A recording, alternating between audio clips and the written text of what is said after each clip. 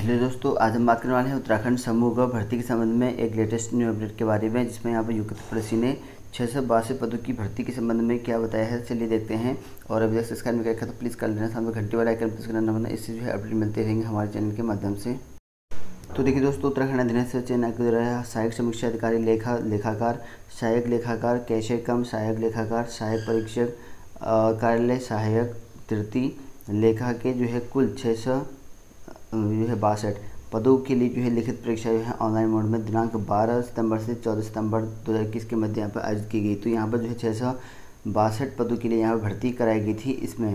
और आयोग ने इसमें यहाँ पर बताया गया है कि संतोष बडोली ने बताया कि परीक्षा के लिए जो है कुल अठारह हज़ार जो है छः सौ चालीस अभ्यर्थियों को जो है प्रवेश पत्र जो है जारी किए गए थे इनमें से पंद्रह हज़ार चार सौ अड़तीस अभ्यर्थियों ने जो है अपना प्रवेश पत्र जो है वेबसाइट से डाउनलोड किया कुल जो है नौ हज़ार तीन सौ इकतालीस अभ्यर्थी जो है परीक्षा में उपस्थित हुए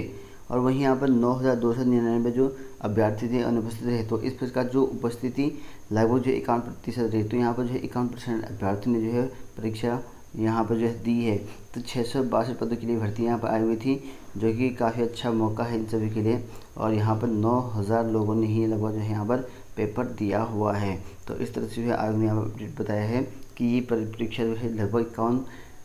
प्रतिशत लोगों ने यहाँ परीक्षा दी हुई है।